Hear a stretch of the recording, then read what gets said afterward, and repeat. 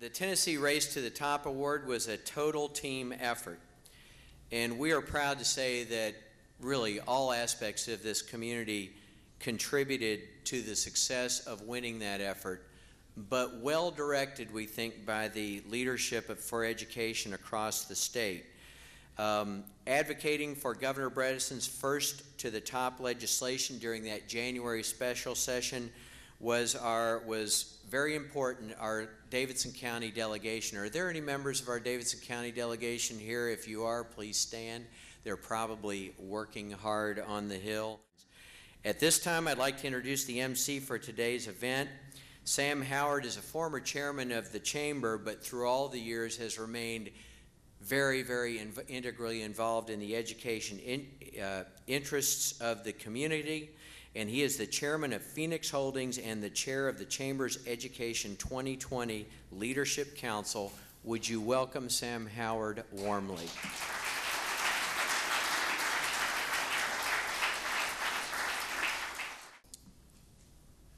Thank you, Ralph. As chairman of the Education 2020 Leadership Council, we seek to help inform the Nashville community about critical issues facing our public schools through Education 2020 Speaker Series. And for today's event, we're teaming up with Mayor Karl Dean, who's actively on the leading edge of education reform here in our city.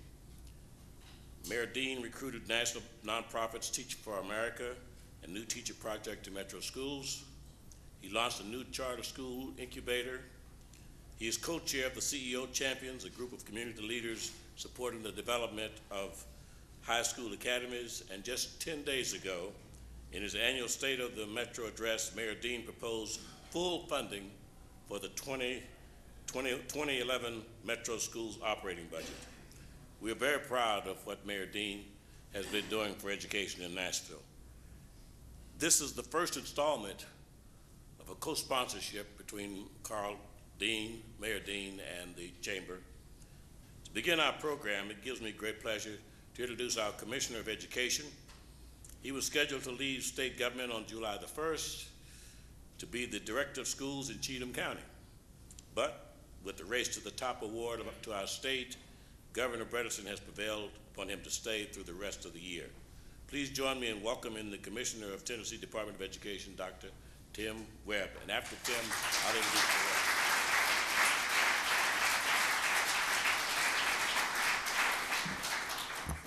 Thank you, Mr. Howard. I'm not sure if I'll live to regret that decision or not, but we'll, uh, we'll uh, see what, what goes on here. On behalf of the governor and the uh, Department of Education, I thank you for the opportunity to be here with you.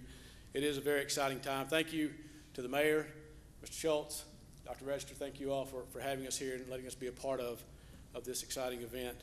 What does the um, race to the top mean for Tennessee?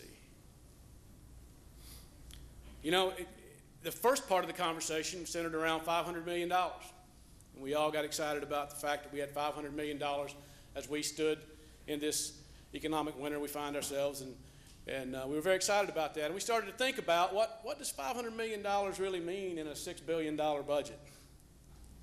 And at the end of the day, when you distribute that money across 136 school systems and four state special schools, as well as the agency initiatives, it really didn't look like a whole, whole lot of money. Now, don't get me wrong, we're extremely thankful for $500 million uh, to do the kinds of things that we need to do. But as we started to think about what race to the top really, really means for Tennessee.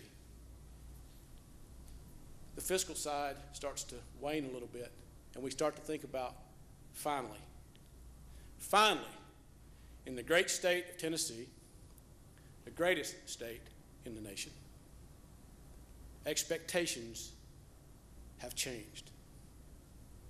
Expectations have changed. No more is the status quo okay. No more is failure an option. No more is Tennessee going to find itself 40 something. We are one of two states, and the largest of those two states, to win the first round of competition in what promises to be a game changer for our nation.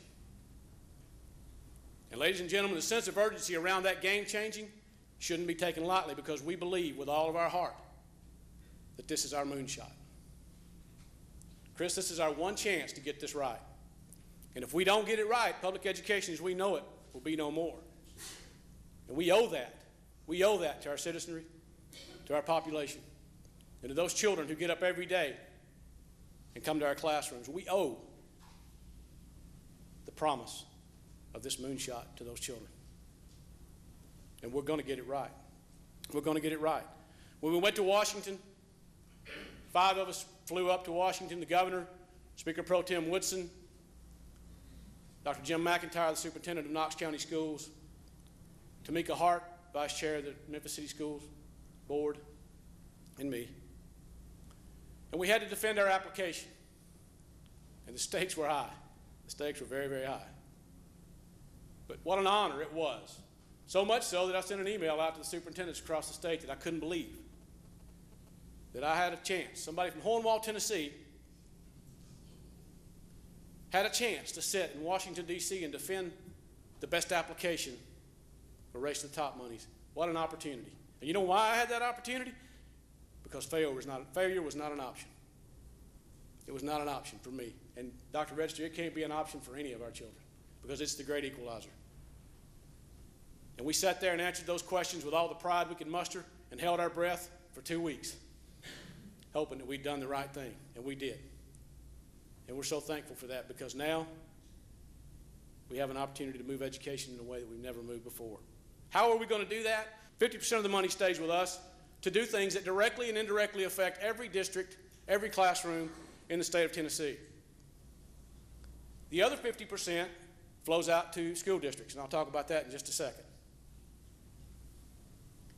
The 50% that stays with us, what are we going to do with that money? It's $250.5 million.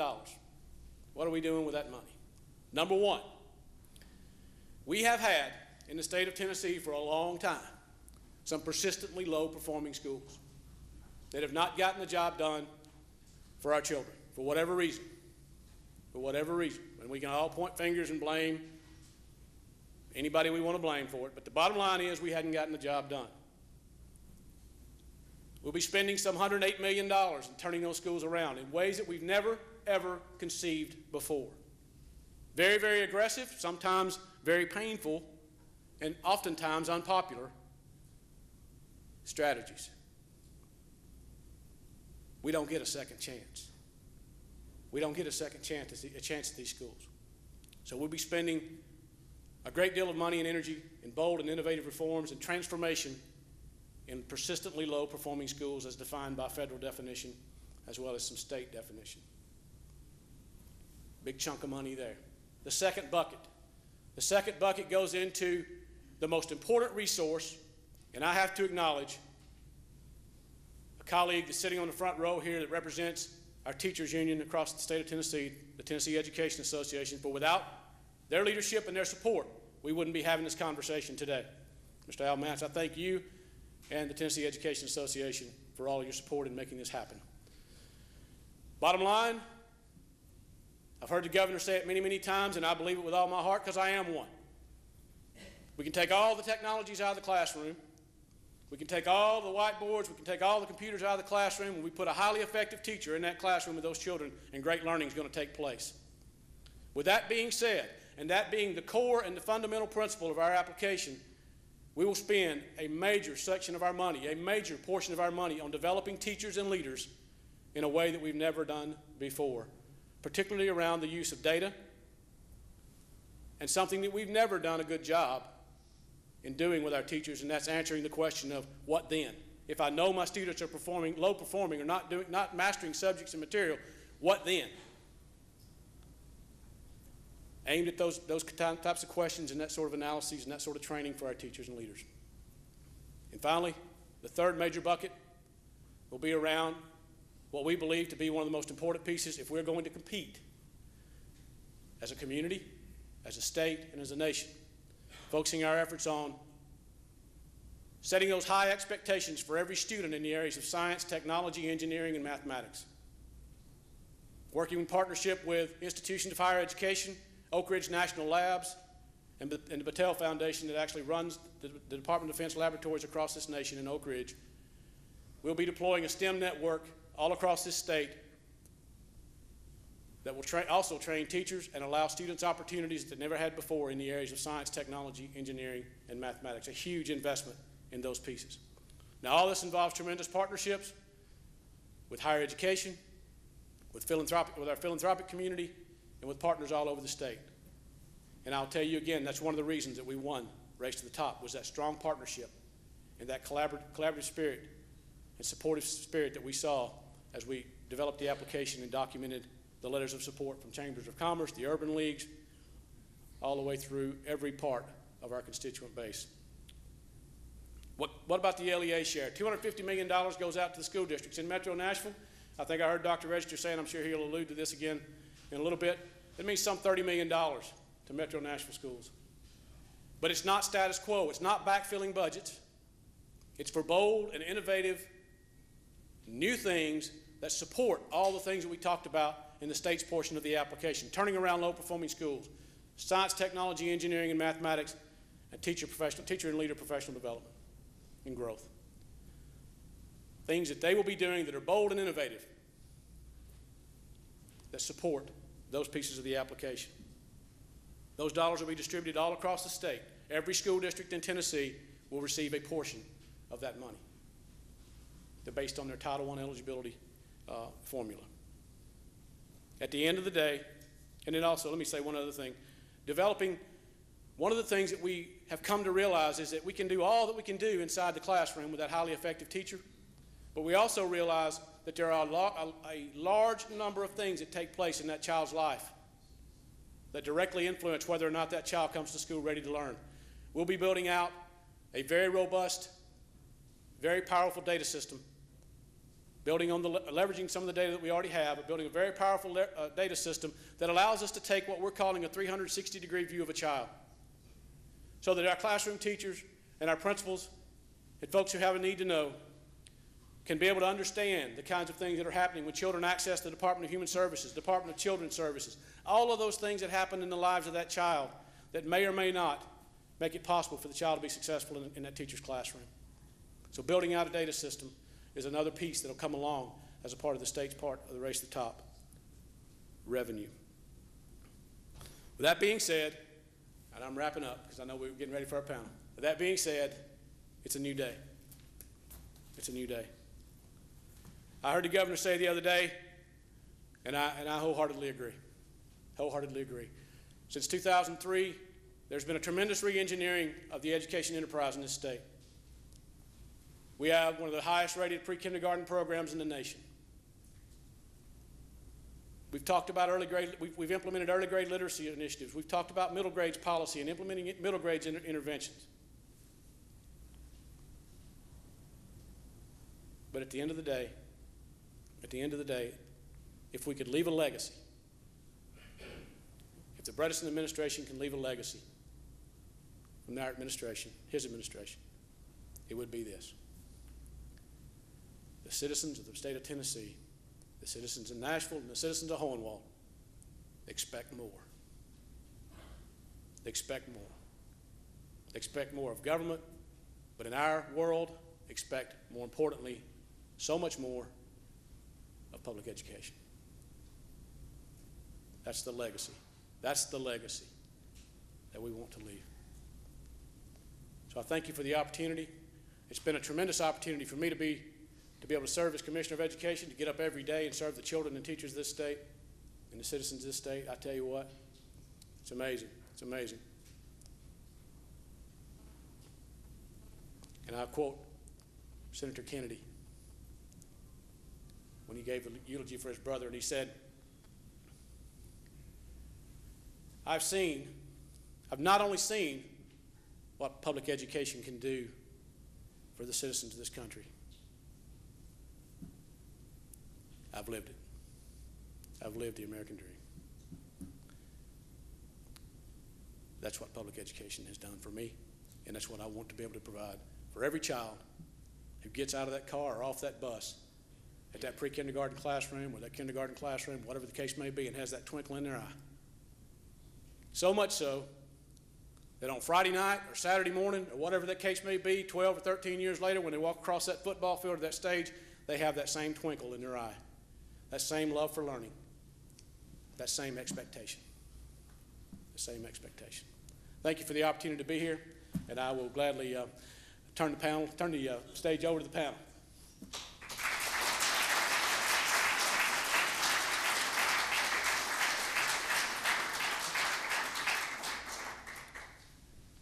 Thank you very much, Commissioner Webb. You know, expectations have changed. We got a room full of very interested people in what's going to happen with this race to the top. And we have the top, some of the top participants in that program and developing that program, and I'm anxious to bring them up. If our, if our panel would come up now, and after they have finished, um, then we're going to open it up for questions from you. These are our local leaders who've been intimately involved in this race to, to the top application. And our first speaker will be Susan Bodary, is the principal with Education First Consulting, assisted the state of Tennessee with the race to the top application. Following uh, Susan, Erin O'Hara is the Education Policy Advisor in the Governor's Office of State Planning and Policy and was the primary contact for the state's application. Al Mance is Education Director of the TEA, Tennessee Education Association, which is a state umbrella organization for our local teacher unions in Tennessee, and we have our own Dr. Jesse Register, Director of Schools here in Metropolitan Nashville. Each will talk for about five to six minutes, and then uh, I'll come back and we will have a, a Q&A with you. Thank you. Susan? Thank you. Before we get started, I just want to say that those of us who don't live in Tennessee, and I live in Dayton, Ohio, have been rooting for you over the past week and a half and watching with bated breath and calling our friends in Nashville. And just know that the entire country is rooting for a full recovery and was thrilled to drive downtown today and see the, the good hard work going on. So just know that our hearts are, are with you as you go through this. Second, I want to say thank you for the opportunity to work with the state of Tennessee on this very important project. Um, the work that I do is all about education policy. The work that our firm does is about education policy, and we work in capitals all over the country. And Tennessee and Nashville is indeed a unique and, and very gifted place um, for things to happen. There are a number of things that I think differentiate um, the Tennessee application, the leadership approach, the vision that's been shown throughout the process, and I want to address some of that as we go through. And I think there's some really important implications for the city of Nashville to partner with the work that's happening at the state level uh, and also to push the work further uh, because cities and uh, school districts can do that in ways that others can't. First, Education First Consulting is an education policy firm. We deal with um, governor's offices, state superintendents, um, chancellors of higher education, and nonprofits, and then also district level um, school work and basically try to help our partners in order to realize the vision that they have and to bring forward solutions and cutting edge ways of doing work that will benefit children. Uh, we came to Tennessee because of our relationship with um, the governor's office that we had grown um, into over a period of time because we both work with Achieve um, in Washington, and so we were, we were happy to be a part of the conversation. We dealt not only with Tennessee and helped uh, the leadership team here to develop their application, but also worked um, in smaller or larger measure with the states of Oregon, Oklahoma, and Hawaii in the first round. We also were key participants in helping the Delaware team in order to prepare for their interview with the uh, federal government um, once they were selected as a finalist. And right now for round two, we're leading the work in Maryland, which is a first time applicant. Um, also Ohio, which is my home state, and they'll be going at this for round two. Um, and they were very disgruntled that an Ohio girl came down to help the team from Tennessee. and we're also working again with Hawaii. So that kind of sets the stage for, for what we're seeing. There are a number of differentiators that made Tennessee not just a unique place for reform with a rich reform history, but also differentiators that made it possible, important, and compelling that Tennessee won the race to the top in the first round. I think it's fair to say that most of us in the education reform community were fairly shocked first that there were 16 finalists. We thought that was quite a lot, given what Secretary Duncan had communicated previously. But even more shocked when we found that there were only two states being awarded in the first round. Um, there were a lot of states um, who came in numbers three through 10 who were equally shocked um, and are redoubling their efforts in order to uh, win what Tennessee now has um, during round two. But truly, Tennessee distinguished themselves from the very beginning. Um, you engaged um, in the conversations around what does this mean and what is Tennessee's vision for education very early on uh, in the summertime.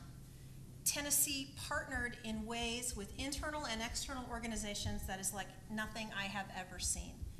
This state um, put together a leadership team that ran across parties, that ran across agencies, that embraced philanthropy, that embraced business, and left no stone unturned. While that might be a way of doing business in Nashville and in Tennessee, I can tell you it is not the way of doing business in many states around the country. And so while it seems second nature here to make sure that all hands are holding each other's in order to do the right thing in education reform for students, and I'm not trying to say that it's easy because there are some very hard decisions that were made along the way, um, it's not second nature. And many states right now are struggling to even reach across the aisle from one legislative party to the next um, in order to make the changes necessary or even to agree on what some of those important changes need to be. So you should be very proud of the way um, Tennessee conducts itself in these instances.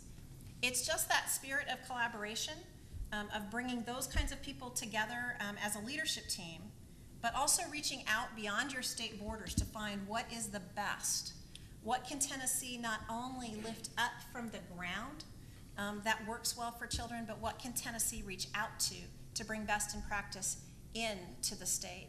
That I think was a huge differentiator and one of the big reasons that you had a victory here.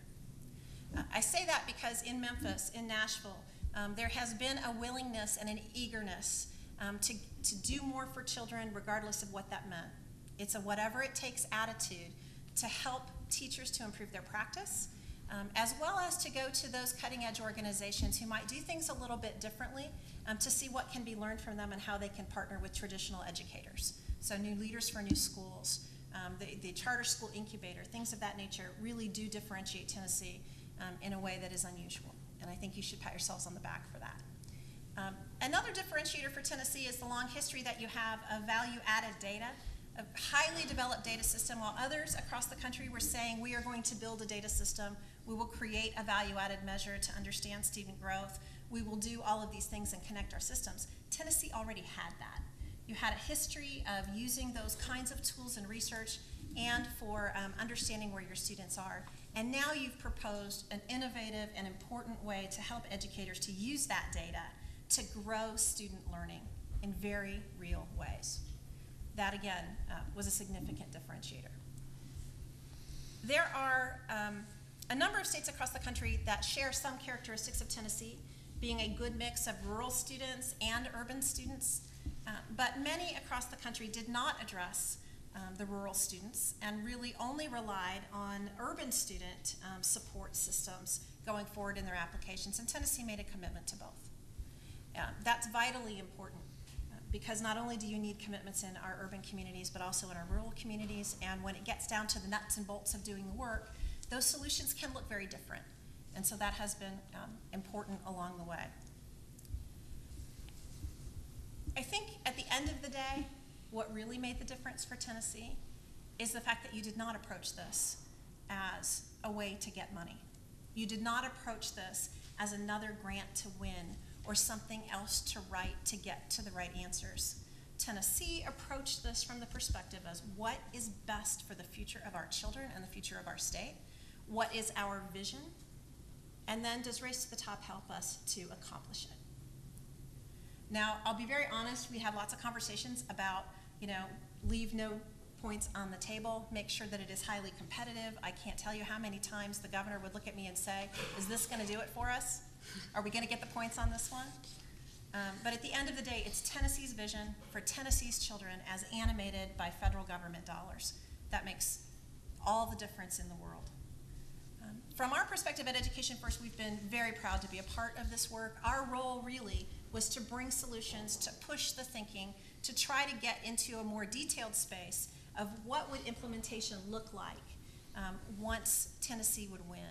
Um, and we've been privileged to have that conversation with people of open minds who have a distinct understanding of the students of the state and a very high value of the teachers who live and work here. So thank you very much. Um, thank you for the opportunity to participate in this team and go Tennessee.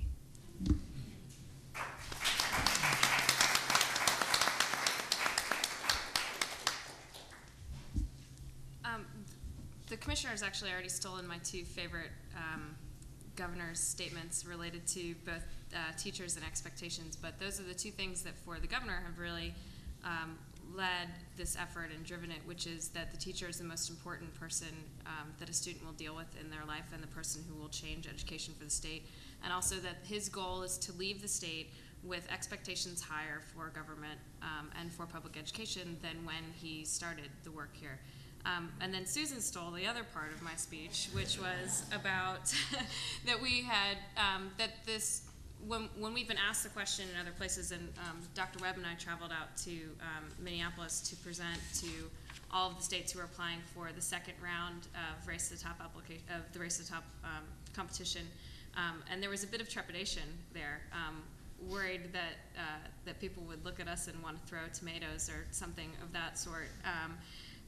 But really, people were um, were cheering us on and said and said, you know, well done, way to write a great application. But really, more importantly, how did you get to a point where you had gotten all of this collaboration in place, where um, you had all the people in your state sort of working towards the same goal?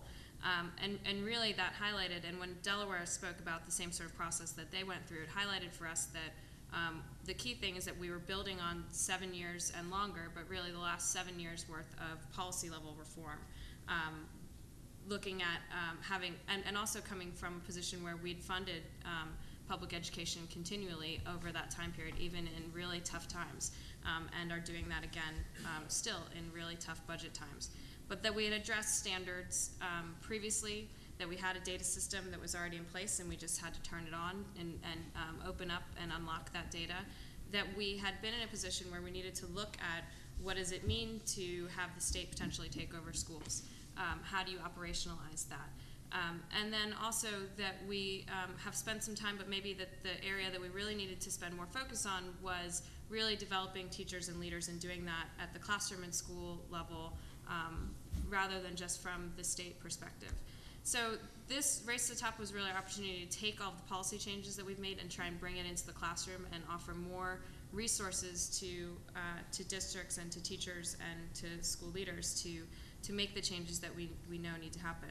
Um, I'm going to talk a little bit about um, the legislative session and the importance of that um, within both um, the Race to the Top application, but also for the state going forward as Susan said, um, and I think the commissioner touched on this as well, whether or not we had won this competition, specifically related to teacher evaluation and related to turnaround schools, and specifically related to the Achievement School District, these were things we were going to do anyway.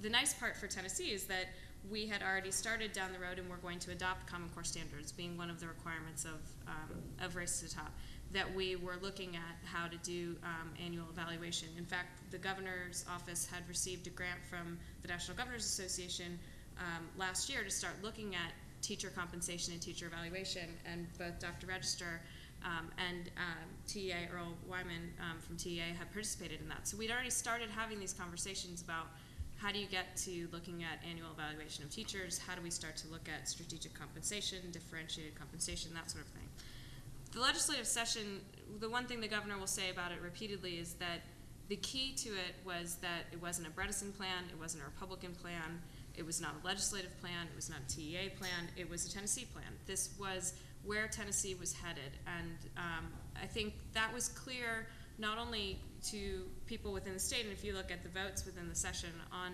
um, sort of the overwhelming support, but also then clear outside of the state. And I think that really helped to push our application along um, as well. So um, the, the keys to the legislative session really the, that we've had the data um, on teachers for a number of years and on how students perform and being able to tie the student level data to, um, to teacher evaluation is a key thing moving forward.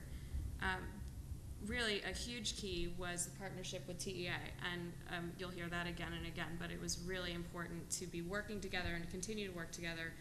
Um, as we've stepped into the um, implementation and are looking at um, the, the development of the annual evaluation and, and what it means, um, we'll, we've developed that partnership further and will continue to. Um, the other, within the legislative session, the Achievement School District, which you all have heard a lot about, really was about giving the state the opportunity to do what it might need to do um, in a position where schools had gotten so far down the line that we need to take them over and just really clarifying um, the state's ability to do that. The other thing that we did was um, comprehensive higher education reform, and that I think was was um, is a tangential thing, but in, in the, the discussion of race to the top, but really important, even from the Department of Education's perspective, on being able to tie wholesale reform together. Um, I'll talk a little bit deeper about some of the reform initiatives. I've spoken a little bit about the annual evaluation. Um, the committee, which um, Dr. Register is also part of, is in process of developing that evaluation. Uh, there will be guidelines that are adopted by the State Board of Education, um, and we will um, have all of that up and running by next summer. Um, I want to talk about professional development to, to an extent. We've really focused professional development on pre-service and in-service um, around standards um, and around especially giving people the, the data that they need in order to be able to make the changes that they need to make. When you start to base someone's evaluation on the data, on the testing that the students are doing, you then actually have to give those people the opportunity to really understand it. We put a, a huge amount of money into that. That's about getting um, understanding of data and, and what it means for a teacher into the teacher's classroom. Um, there are a number of different initiatives around that that I could talk more about. Importantly, for pre-service, it also means redesign of the pre-service programs. It means putting standards and data into pre-service programs, something we haven't done before. So teachers leave their training programs knowing more about how to use data and how and what the standards mean for them. Um, talk a little bit as well about um, an expansion of alternative licensure, which the governor had made uh, a key point within his um, policy platform over the last couple of years, and we've we've ramped that up as well within um, the Race to the Top application to allow people uh, just, uh, the opportunity in um, Teach Tennessee and Distinguished Professionals, sort of second career people, to come back and teach in the classroom. And then finally, um, compensation. Uh, we're sort of just heading down the road of what we do on compensation reform, um, and that'll be the next initiative that we work on um, as we look towards a teacher incentive fund grant for the state. One last thing I just want to touch on really quickly is um, partnership opportunities. There is an RFP that's currently out um, on the State Department of Education website. If you or um, anyone you work with uh, would like to be a provider to districts of professional development services, please take a look there. We can talk a little bit more about that specifically. Good afternoon.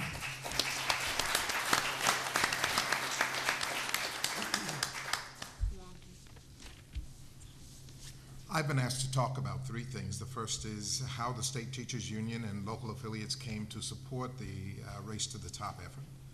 The second is how the Race to the Top will help support the improvement of instruction in Tennessee. And the last is transition issues to consider with the new administration in 2011. Uh, the actual first part of it is pretty straightforward.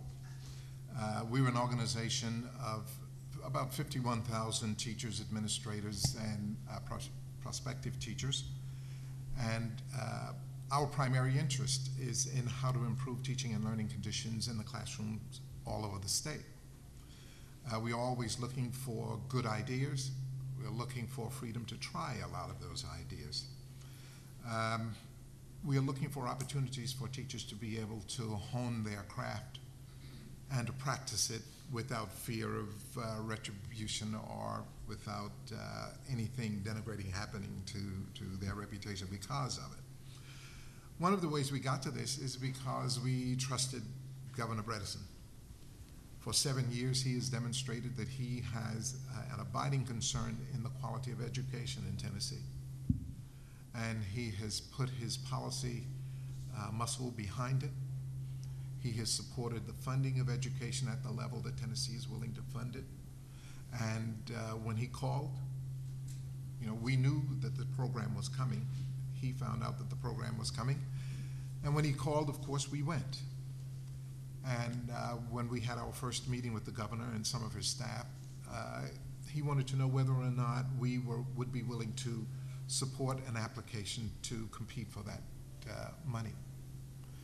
And uh, we talked about the four assurances that were a part of this program. They are all assurances that we buy into, that uh, we care about. And frankly, we wanted him to be able to be successful if we could agree to it without, of course, hurting teachers. And if it had any chance of improving uh, the plight of teaching and learning in schools, we wanted to be a part of it. So it was really him that attracted us to it. And it was his, uh, our trust of him that resulted in us staying to the table uh, until this was finished. And it was not an easy uh, process. Uh, we had a number of meetings. Uh, sometimes we walked away from the table and came back, and we talked about all of those kinds of things that had to uh, take place in order for this uh, application to be competitive. And we've done some things that a lot of organizations wouldn't do, that is, teachers' organizations, in an effort to make that application uh, more competitive. We recommended that every local affiliate sign the memorandum of understanding of every school system that wanted to participate. And that happened. I think we had maybe two or three that did not. And uh, we're glad now we got the money, so I mean, how can you argue with it? Uh, we are looking for those kinds of reforms that will have some promise of uh, strengthening those things that are already strong in public schools and minimizing the weaknesses. Whatever else goes on in this whole process, ultimately, the success of this initiative, as well as every other, depends on what happens in the classroom between teachers and students. And if that does not change, or if that is not uh, productive, nothing else matters. And that's the way we approach it. And we think we've got a team of people who also believe that. Now, uh, how will Race to the Top support the improvement of instruction in Tennessee? I'm going to tell you, and I don't know whether you're a believer or not, but you would be absolutely uh, excited if you knew how much of the teaching force in Tennessee are just very, very competent people. There is nobody sitting in a classroom who, uh, says to themselves when they walk into the classroom in the morning, I want to see how many kids I can fail today. Everybody is looking for ways that they can help boys and girls perform better. They've dedicated their lives to it. You know, it's the old thing of if you had a ham and eggs breakfast, it's the teachers who bring the ham. And we're looking for ways to make that better. And believe it or not, most of the public does not understand how complex teaching is. In fact, a lot of researchers take a long time to discover what it is that makes one teacher different from another. And the latest thing that, that I've heard is that they actually uh, filmed teachers and then looked at their student performance at the end. And some of the differences are so subtle that even experienced educators can't pick it out. The vast number of teachers in the classroom have no dearth of skills. Very often, it's a dearth of the resources to inform their choice of methods. And we think that one of the things that this that the RTT grants will do, we hope, is to provide more resources, and that's resources in terms of time that teachers can spend with their colleagues, and that is in terms of professional development. Those of you who are in private business would think nothing of spending up to 25% of the time of your employees teaching them how to do something different if the industry is changing. We have a requirement in law that five days a year must be spent for teachers. That's just not enough. And then the quality of the professional development that they are provided is just not enough. We actually need a knowledge management system for, for teaching. If you look at medicine, A doctor who wants to learn a new procedure can go into a medical library and actually watch another physician doing it. We don't have that for teaching. There were some experiments with it in England, and we have a few places around the country that's trying it. But we need more of those kinds of things. The money from Race to the Top could help us to move along in that area. Um, the other thing I'm hoping that this will do is to result in some changes that will be lasting. You have absolutely no idea how many innovations actually take place in schools all over this state and all over the country in, uh, every year. What happens, however, is that you implement it, you don't fund it appropriately, you don't give enough time to it. And so when one thing is found to be an error about it, we throw out that, and then we come up with the next initiative that is supposed to, to uh, you know, solve all of the problems of public education. That doesn't work. If this money is used appropriately, and if we can get the kind of staff development and cooperation that we need, there is a chance that we will actually get some uh, lasting change. Teachers are hungry for it. The other thing I hope that this will do is give school systems, and in fact make the state ask teachers what they need. Give teachers an opportunity to talk to each other. Teaching is not a telling enterprise, it's a problem solving enterprise. No teacher is successful with every child every day on everything. But we don't have time for most teachers to walk next door to another teacher who can do this thing they are looking to do well and watch them do it. Something as simple as that can make a difference in schools. You ask almost any teacher, what is the best professional development they can get?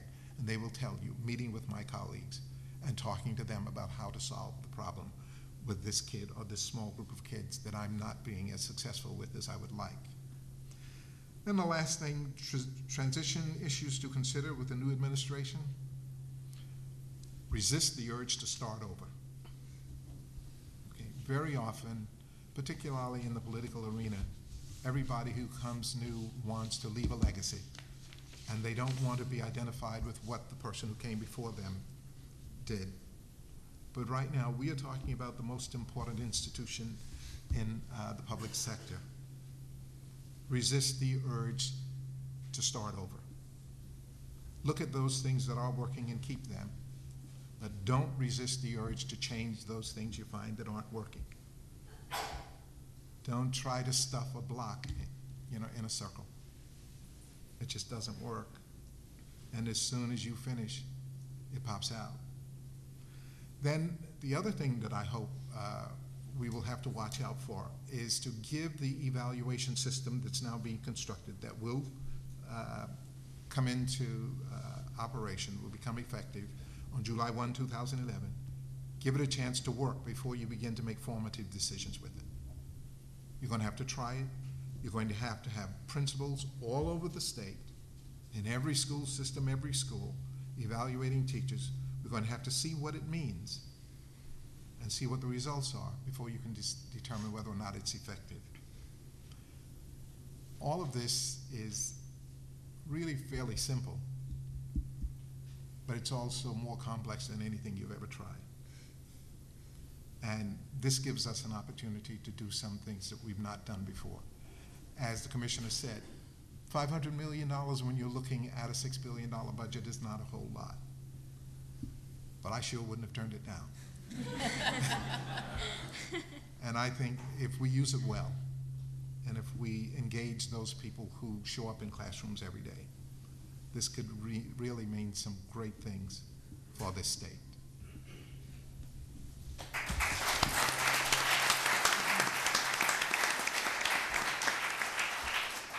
Good afternoon. Often when you're last, uh, you don't want to sound like a broken record. You want to introduce something new. And actually, today, it's pretty important that in some respects I sound like a broken record. But I don't want to start that way. So I think I'll drill into Metro Nashville Public Schools and talk about some things that are going on here first, and then maybe sound a little bit like a broken record uh, before I finish. Um, let me say first that, that yes, uh, our estimated allotment is $30 million over the next four years. I will assure you that I've been given hundred million dollars worth of advice uh, to use that thirty million dollars. That, that amounts to about seven and a half million dollars a, a year, and, and uh, Commissioner Webb gave us uh, a planning document about three weeks ago, I guess now, so, so we're, uh, we're getting into the middle of that. I want to talk a little bit about what we want in Metro Nashville, and then talk about Race to the Top, if I may. What do we want here? What do we want in this school system for our young people? We want excellent classrooms, uh, excellent teachers in every classroom in this district, in every school in this district, every year. Uh, that's number one. We want excellent principals who are outstanding instructional leaders uh, in every school in the school district uh, every year. And we want an excellent support system uh, for quality instruction to support those teachers and, uh, and to work towards student success in our school system every year, every classroom, regardless of, of where that school is and which school it is. Last year, we initiated a very comprehensive uh, transformation strategy to achieve these goals. MNPS achieves. I hope you've all heard that. It's ambitious, it's urgent, it has many facets, it's complex. We've started an initiative to reform or to transform our high schools and our middle schools. Uh, we're, we're looking very seriously and focused on the education of disadvantaged youth, uh, students with disabilities, English language learners, which, in which we are unlike anywhere else in this state and in many places in the southeast, uh, for improving the quality of instruction for gifted and advanced students, uh, and, and other areas. Uh, we plan to attain these uh, goals that we have of improving instruction for these students through the effective use of data and technology, but primarily through the investment in people, a human capital development strategy, if you will. For us in Metro Nashville, Race to the Top is a tremendous opportunity that will enable us to reach those goals. Of course, uh, our course was charted, and uh, and if I use the whimsical side of me, I'll say the stars were aligned. If I use the business side of me, I'll say the state, federal, and local efforts are all in, are all moving in a coordinated and focused direction. We are fo- all focused on doing the right things. And I think I want to start by talking a little bit about that focused initiative and the partnership, if I may. I've got a couple of examples I'd like to use that have already been mentioned. The first is one called the STEM Initiative Science, Technology, Engineering, and Mathematics. Uh, Metro Nashville will participate on the state side of that funding uh, as a STEM platform. Uh, we, we, we uh, written into the plan is a plan for developing STEM academies in our schools. Uh, we also have a partnership with Vanderbilt University to bring in science teachers and, and to partner with the science program at Vanderbilt in the STEM initiative with us. We're also writing a U.S. Department of Education magnet school grant that includes three STEM academies uh, in that grant that we expect to get. And we've started a master's degree with Vanderbilt in, uh, in STEM, uh, in, in uh, focusing on middle school science, math, and literacy teachers. I think that's a pretty good example of how we're focusing our resources from many directions to attain some very important goals. Uh, a big part of our initiative here is on human capital development. Uh, let me highlight the, the task force that we've formed, the joint task force with, uh, uh with Mayor Dean. It's, it's uh, labeled ASSET. Um, that's a superintendent mayor joint task force. Uh, we have we have partnered with uh, uh, and and are looking at the state evaluation system and tying our work to that to the development of a state evaluation program. Uh, actually, Ed First is facilitating that work for us. Uh, we're focusing on job embedded, school based professional development. Uh, our big initiative, where, where our direction is going, is on an investment in people. It's an investment in human capital. It's leadership development, building the, building the capacity of present leadership, developing a pipeline for future leadership. Uh, and there are specific examples of, of ways that we are planning to, uh, to do this. Uh, one's uh, for, for many of you who, uh, from the chamber who went on the chamber retreat to Denver, you'll remember a, a person there whose name was Brad Jupp. Uh, uh, he is now in the Obama administration, developed a great concept there, a career development academy, to, to focus on the career development of the very brightest young teachers that are coming into a system, those that are just attaining tenure. Uh, we, we've talked to Brad about starting a career development institute here so that we can uh, retain and keep the very brightest young people coming into the profession uh, in education through career development and career advancement. Uh, we've talked about the possibility of starting 400 model classrooms next year. This is an idea that we've not talked about very much out of the planning room, uh, but focused on professional development uh, and focused on making technology an integral part of these model classrooms, state-of-the-art classrooms. Uh, technology is only one little piece of that, though. In, in addition to the technology, you've got to develop the people who are using those, those, uh, uh, that technology. Uh, we're very excited about the possibility of that. Uh, we, uh, we, we uh, are very interested in the partnership that we've formed and very excited about the partnership that we've formed with a number of participants, and several of those participants are in the room for the persistently low performing schools, particularly Cameron Middle School. Uh, Commissioner Webb and I started a conversation soon after, uh, or actually before, uh, Race to the Top was funded about how to partner to raise the performance of students at Cameron Middle School. Uh, and it's a charter partnership, a unique one, one that's unlike anything else in the country. Uh, Lead Academy as our partner. Jeremy Kane's in the audience somewhere. Alan Coverstone's worked to develop this partnership. Uh, the Department of Education is a partner in this program. Metro Nashville Public Schools is not stepping aside. We are a partner in this unique possibility. I see Candice McQueen in the back of the room. Lipscomb University is a partner in this effort. The challenge at Cameron Middle School is the English language learner population that we have not served well. And Lipscomb University will help us develop a model for serving our English language learner children very well in that opportunity. Uh, th- this is innovative. Uh, I'm excited about it. I think we're going to do some things there uh, that, that we have not done before. Uh, so uh, I think Race to the Top is a great opportunity for us. The advantage that we have is developing a partnership with the state, a partnership with the federal government. Uh, it, I, and I hope I've sounded a little bit like a broken record. Uh, it is an investment in people. It is helping make all of our teachers successful. It is helping raise that standard so that our students can be successful. And with that, I'll stop and turn it back over to Commissioner Webb.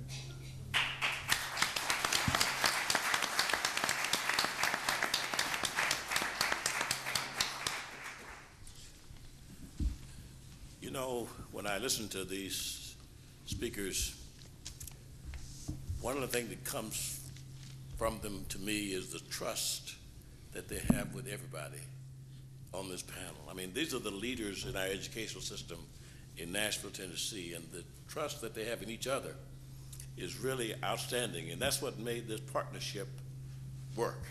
This partnership between the federal government, the state government, and the local governments that- and the Teachers Association. And I want to really give them a, another round of applause just for, just for developing that trust that I heard it spoke about two of you, two of you, three times.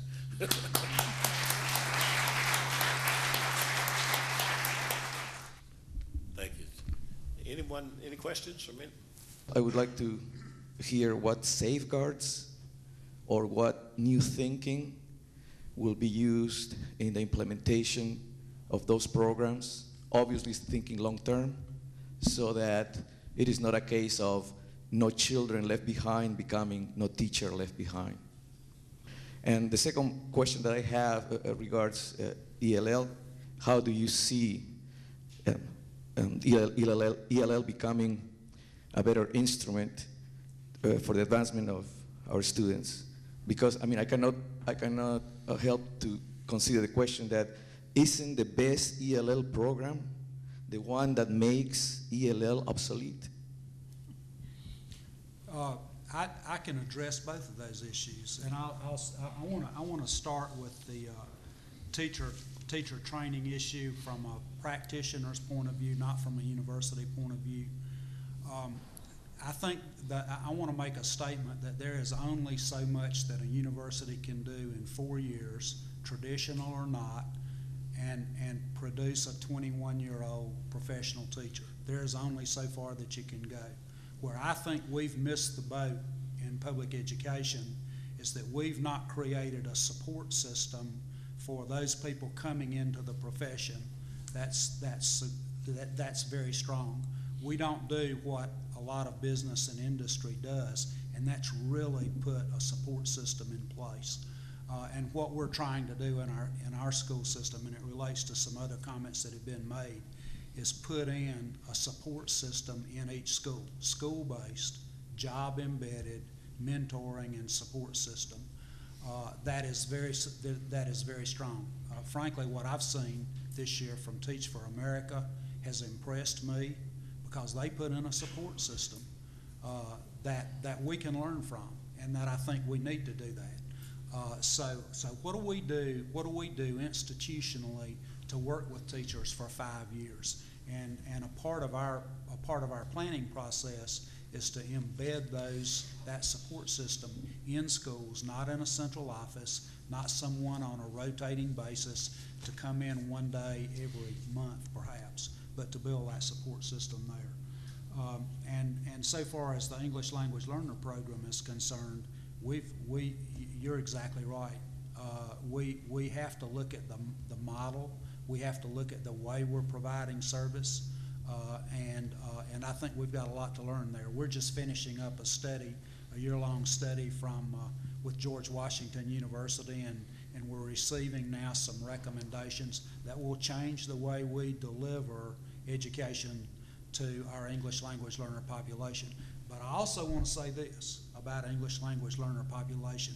I go into classrooms where, where I see a large English language learner population. They're great kids, they're learning a lot. It's really hard to come into this country at age 14 and have two years to learn English and pass a test. And that's what we're asking of many children in the, with the current No Child Left, Left Behind standards. That's not fair. I met with a group of uh, uh, young people yesterday uh, who were high school students, who were all English language learners, who were struggling with motivation and hope because they know that when they graduate from high school, their opportunities for college or university or meaningful employment are very limited because of the laws in this country. We have to look at issues like that. Uh, I met a young man who moved to Nashville when he was three years old, and he's a junior at Glencliff High School. Uh, and because he wasn't born here, he doesn't have the same opportunity that that my child has. Uh, he's he's uh, he's he's not he's not a registered, uh, so he can't get a driver's license and he can't go to a university without paying international tuition. We need to look at issues like that. Uh, and, and understand how that affects the dropout rate and a motivation rate for young people who come to us from different parts of the world. Commissioner, you have a comment on that, Commissioner? Okay. Ken McElrath with Scudat, and my question is really for Al and I think Jesse, and it relates to those five days for professional development. And I didn't really see in the Race to the Top application that there was going to be an extension of those days. How do you plan on fitting in more time for professional development? Are you going to extend the work year for teachers, or are you going to, how are you going to manage that? I think the most effective professional development is uh, uh, job embedded um, on site during the workday. Uh, and I think there are some strategies uh, that you can use to do that, and that's putting uh, uh, instructional expertise at the school level.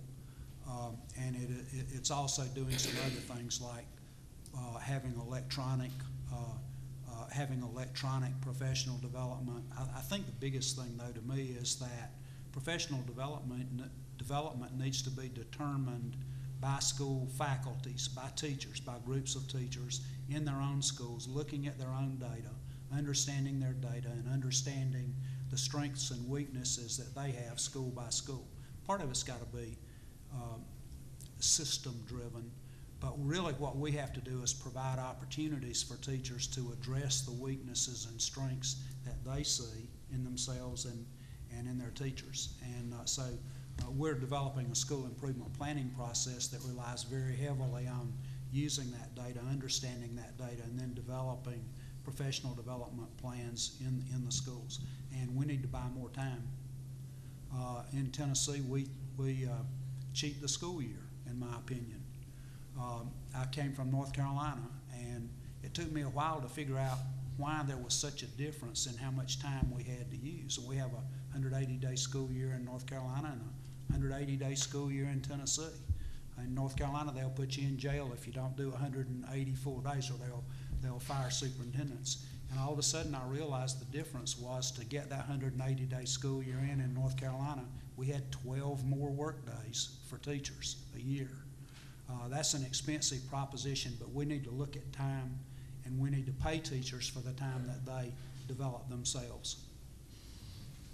Susan, did you have?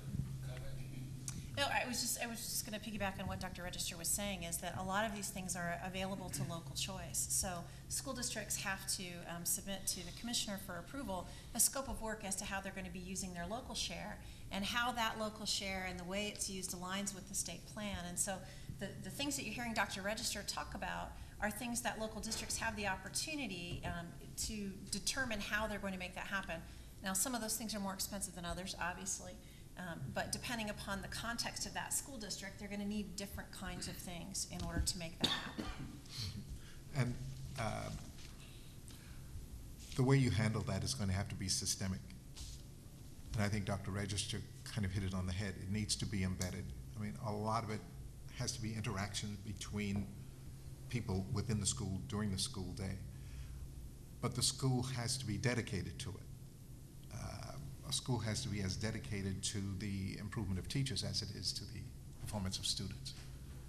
And um, mentoring is a part of it. Uh, loosening up the structure. I mean, right now, we still have a number of periods during the day, and every teacher has to be in the classroom at this time, and when the bell rings, the kids go there. And there's a reason for that. I mean, there is a need for some control. So we've got to loosen up the structure, though, so that the professionals can talk to each other. We've got to provide more support, not just for new teachers, but for also experienced teachers. Nobody in any business is consistently effective every day, all the time. And a teacher can be very effective this period with this group of kids, and the next period get somebody that they just just can't figure that one out. And I didn't get to know that until uh, before I came to Tennessee. When I was in the classroom, my second job was actually teaching in Hebrew school, and I taught uh, kids who were going to be rabbis. I taught English subjects. I didn't teach Hebrew. But you find out how different kids can be, and um, how difficult it is to make the right decision all of the time, unless you've got someone else there who's done it and who can talk you through it. You know, I think another thing that's pretty important to note is I want to go back to something that Al said earlier. Um, and, uh, and that's, uh, and I'll use a different phrase, but it's focusing on best practice. Uh, when we develop an evaluation system, and these folks have heard me say this, there are a set number of, of uh, poor teachers in this state. We need to deal with them. But the great majority of teachers in this state are, are good teachers. And what we need to do is focus on best practice. The way you improve student achievement, the way you improve quality teaching is looking at the best and learning from them in a collaborative way. And uh, we don't need to we don't need to evaluate every teacher and every principal in this state every year for the purpose of singling out a few that are low performers. It's our fault. Shame on me if I don't deal with those. What I want to do is focus on best practice and raising the standard of practice of the great majority of the people who work in our district. And that's, that's, a, that's a high yield strategy. Uh, we thank you very much for being with us today, our panel. Uh, you have been very informative.